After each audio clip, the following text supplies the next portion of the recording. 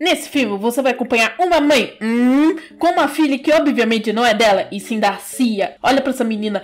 Mano, olha para essa menina. Vai dizer mas é a filha da Cia com o capeta. Porque ô menina metida tá porra, menina chata, insuportável. Mas olha só, a mãe morreu. Oh não, por causa de quê? Dálmatas, malditos dálmatas. Agora a filha da Cia tem que viver nas ruas roubando com dois moleques pobres aleatórios, coadjuvantes. Mas agora ela é adulta, quer ser estilista, mas trabalha para Hitler, dois fashionistas. Mas nossa heroína, heroína, não é mais uma moça inocente, mas uma fashionista de respeito que não deixará ninguém falar que seu vestido é um lixo.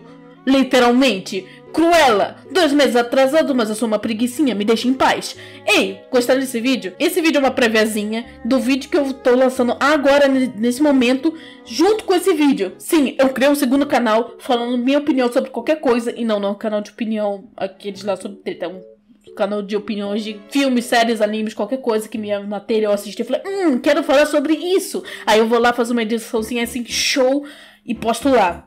Vou ver meu canal secundário agora. Espero vocês lá. Falou.